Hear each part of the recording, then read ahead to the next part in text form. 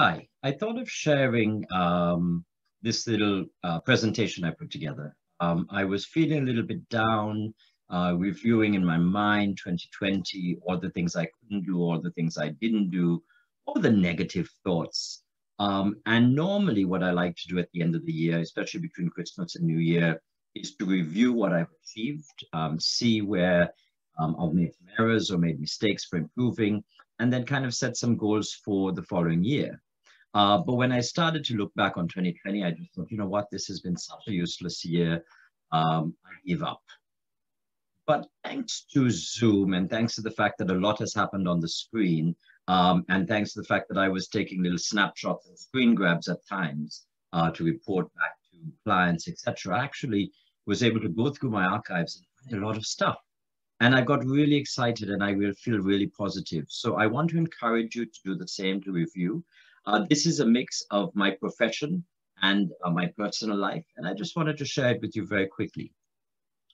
January 2020 started off with having two main clients, Taru Villas and four brands under Eco Team in Sri Lanka. And um, I was really fortunate uh, that the trade press into December, early Jan were very supportive of, of giving me some and my clients some, some coverage. So thank you very much to Travel Weekly, uh, Travel Mole and Travel Daily.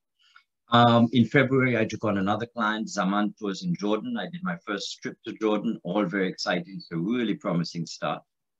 Um, and uh, here are the business partners in Jordan and a little write-up by Travel Weekly. Um, so February and March were really busy visiting uh, tour operators, speaking to the media.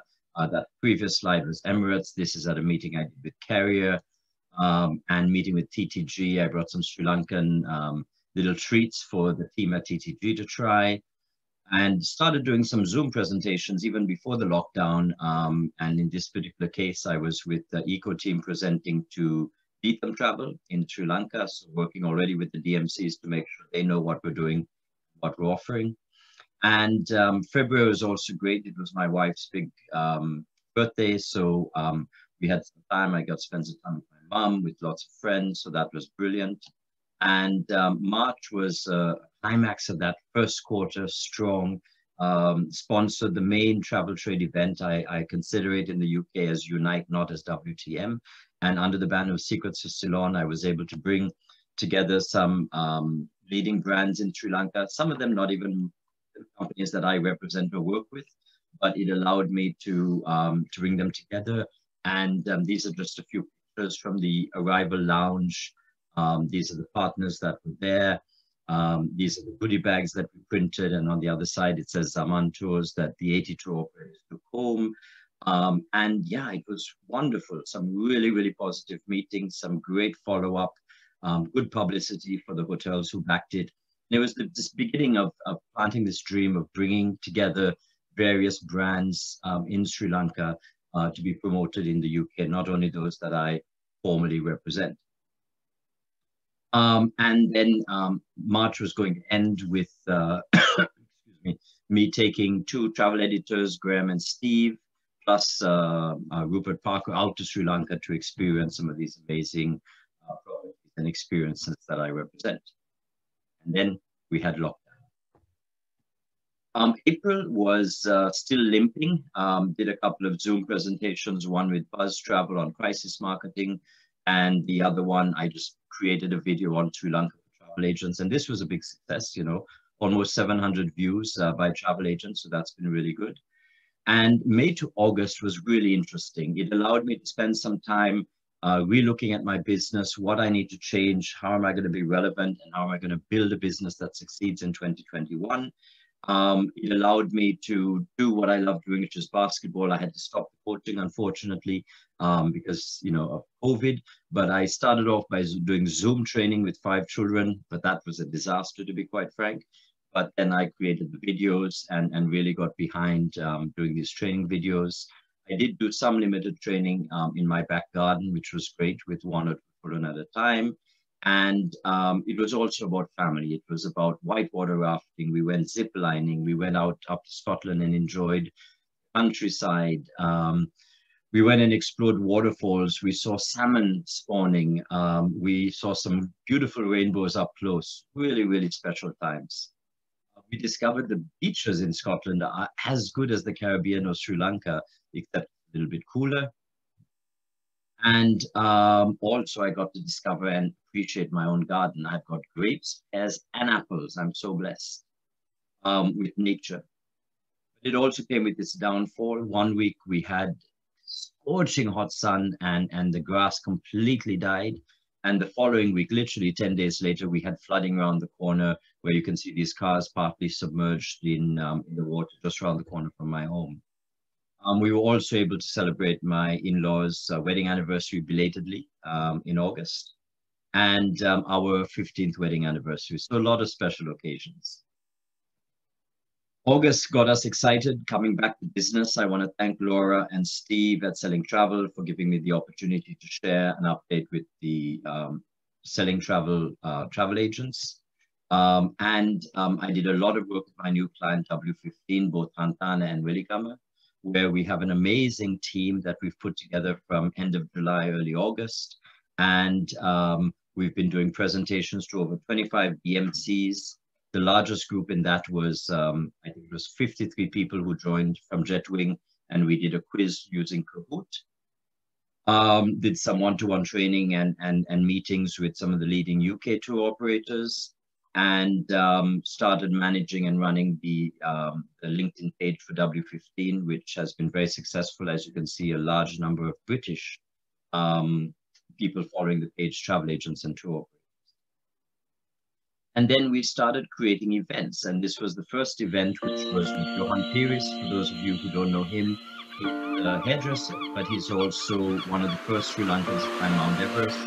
So he came up to lead the hike into the Hantana mountain range, but also just to share uh, with everybody um, the challenges that he faced in climbing and how to overcome some of these challenges.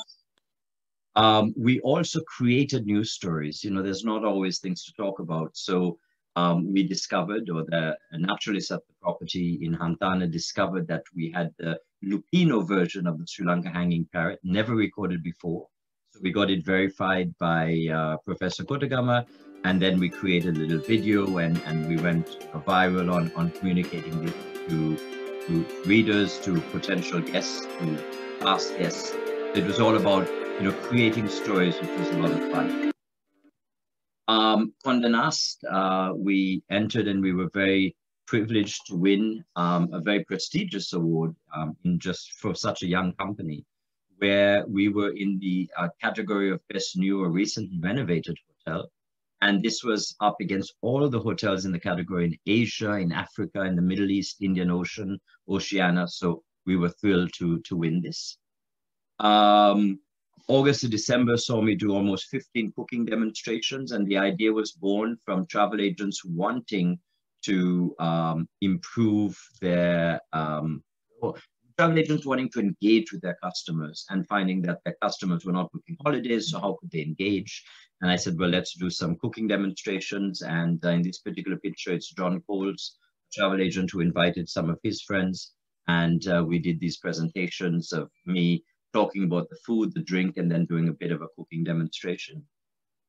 Um, again, big thank you and big shout out to Graham at Travel Mole for giving me this opportunity to give an update in August about uh, Sri Lanka. And um, that was also very popular and been seen by several hundred uh, people. And, um, and then in October, we got some lovely uh, publicity from Travel Bulletin, both about W15 and about Taru Villas um, this culminated, and I think the year for me, from a professional point of view, the culmination was creating an event, bringing together the High Commissioner um, and 33 properties under eight brands to do a series of presentations, tied up with um, several tour operators, leading tour operators to co-sponsor and cover the costs. And um, we had uh, from the tourist board, various hoteliers, um, and um, some really good presentations on Sri Lanka. Uh, we had 178 agents attend one of the three um, sessions. Um, so that was 178 hours of learning. We then put all these videos on Secrets of Ceylon and up to the end, uh, up to today, we've had over 480 hours of viewing. Uh, we partnered with MBR, My Booking Rewards, so we had 95 hours of viewing on their site. Um, so that's 750 hours of learning about Sri Lanka and Sri Lankan hotels just between October and December. That's a huge result and really proud of it. On the back of that, um, I launched this website, Secrets of Ceylon. It has a shop selling um, Sri Lankan products at the moment. The main one is a range of elephants done by um, ladies in a fishing community in Talahena uh, near Negombo. Uh, but we also have a section for the trade and um, general information on Sri Lanka and some links. Um, we ended the year with the Agent of the Year competition. It was a quiz using Kahoot, and it was very popular. Um, the winner was Carla Murdoch from um, Inverness Travel. And on the bottom right, on the bottom left, Graham Lawrence came second, and top right, Alicia Sharp came third. And the other others are some of the sponsors. And um, December 4th saw the one month, uh, the launch of the one month long winter holiday to Sri Lanka with Metro, which is worth over 100,000 pounds. Um, so some really good publicity, over eight or 9,000 uh, entries as of last week and over 3,000 opt-in. So that's going to be really good to be able to communicate directly with consumer for my um, hotels. So um, on a personal note, again, to summarize, the boys had an amazing year. Xavier um, got in and performed at the Royal Opera House uh, for two of the four months. Uh, Jan and Feb, of course, then April and May didn't happen, um, where he was performing the La Boheme. He learned how to surf. He learned how to drive a boat. Um, he got recognized as the second best attitude at Tiffin, his school, um, in his year of 180 students. And um, he's also sung in a major movie, which will be out in 2021. He's not allowed to tell us is. Um, Kai also had a wonderful season. He had a, a hat trick in a football game. Um, he learned how to surf. He would start the term. And in basketball, he got uh, most improved player. So the kids have really been blessed too. And of course, we have a puppy. So, you know, when you review this year, we have a lot to be thankful for. And um, it just makes me realize, wow, it's been a tough year. Um, lots of things I didn't, um, that I planned to do didn't happen, but I achieved a lot as a business, as an individual, as a family.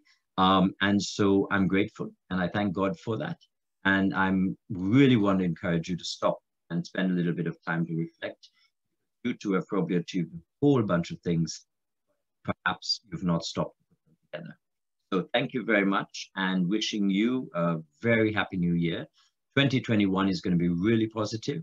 Um, I know for me and I hope for you.